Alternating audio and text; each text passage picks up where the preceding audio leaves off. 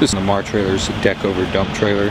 Got a 2 and 5 16th inch coupler, all steel frame. It's a tandem 7,000 pound Dexter axles, hydraulic scissor lift. This is a deck over dump trailer with stake pocket tie down loops, 16 inch tires.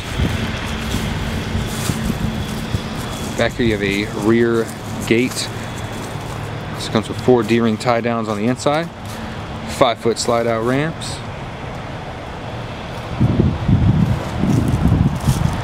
Give us a call, 863-66 Right, or visit us anytime at righttrailers.com.